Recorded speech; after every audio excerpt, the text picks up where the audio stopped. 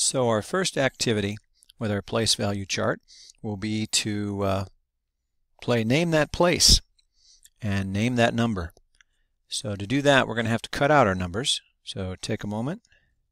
You'll need a scissors and you're going to cut away your numbers and cut them into small rectangular sortable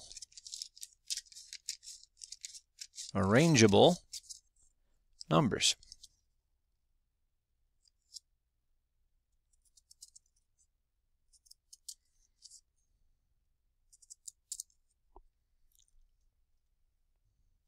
Now that my numbers are cut out, I have them laid out in front of me so that I can get them and place them into the squares. Let's begin building a number. Let's start by putting a zero in the ones place.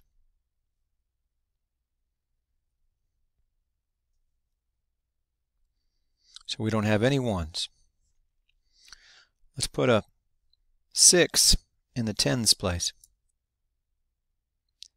We have six tens, zero ones for a value of six tens or 60.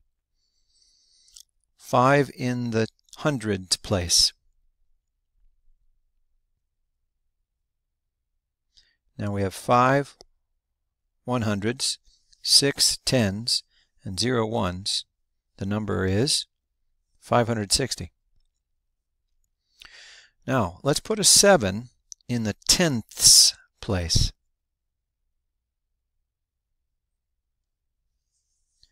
Now there's something missing from this number right now because to say this number you need a decimal. So let's go ahead and insert a decimal here, a nice big one. When we get to this place, we want to say AND to, to signal that we're using a decimal. So let's say this number, 560 and 7 tenths. Say that one more time. 560 and 7 tenths. So let's keep building this number a little bit bigger.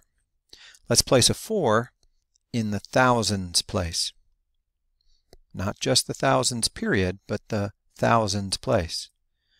Should also be the one thousands place. Now again, to say this number, it helps if we have something to signal that we've gone from the ones period to the thousands period. So let's go ahead and put in a nice big comma in this part of the number. That comma separates the periods. So here we have the ones period with the 5, the 6, and the 0, and the thousands period starting with the 4. Let's say this number. 4,000, notice how we say the period name when we get to the comma, 560 and 7 tenths. Say that one more time by yourself.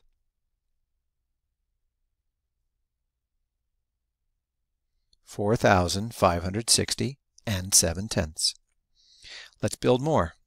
What happens if we put a 0 in the 10,000s place and a 3 in the 100,000s place? Now let's say that number.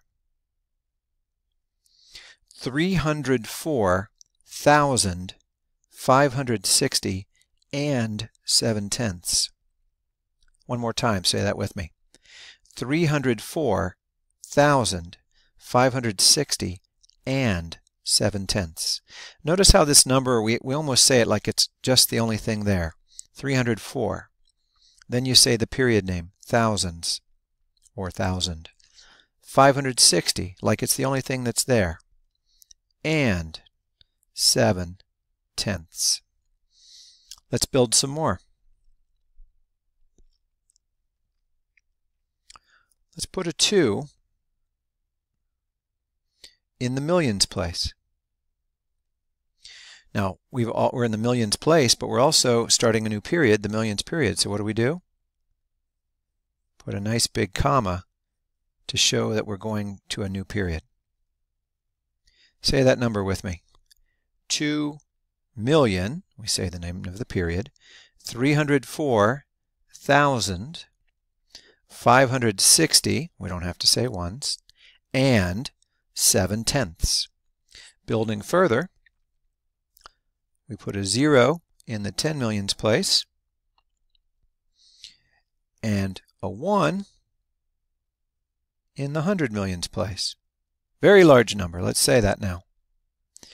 102 million 304,560 and 7 tenths. Two more numbers to add. Let's put 8 in the hundredths place. Now let's say our number. 102 million 304,560 and 78, like it's the only thing we're saying, hundredths. We end by saying the name of the place value, the decimal place value we're in.